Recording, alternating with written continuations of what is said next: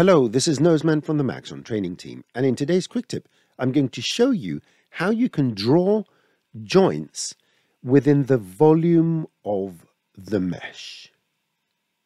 In this simplified scene, I have the mesh of an arm, and I want to draw some joints. So I'm going to go to my character menu and get the joint tool. With the default settings, where it says modifiers, you can see that the control modifier allows us to draw the joints. So let me close this. I'm going to press Control and go around here and uh, click to create a joint.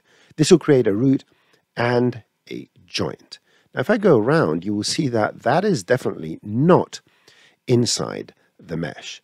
So how do we fix that? Well, I'm going to go and delete this, go back and select the joint tool, and I'm going to make sure that I have the projection setting enabled. Now I'm going to go to a view where I can see the volume of my object uh, correctly from the point of view I'm sitting right now. And if I press Control and click here, what you will see is that the joint is going to be generated within the volume of the object, always based on my view angle. So now I'm going to continue down, get rid of the root null. I don't want another one. And I'm going to go and zoom in here. I'm going to go here where the wrist should be, press Control and click here, you will see that it's placed inside. Now let's continue downwards and let's add something over here. You will see that it creates it down there inside the volume. And then I think my thumb over here has some sort of joint. And then I'm going to go here at the tip and press control and do that.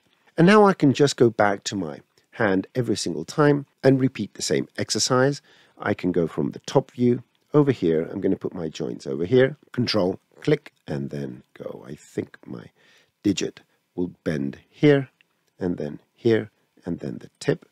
Go back to this, and do the same thing, control, click, and click, and click, and go down here, and click over here. Again, select this, and let's do the same thing here, and here, and here and here. I'm not doing uh, the best job, but you understand the point. Let's go there and finalize this. One, two, and three, and the tip.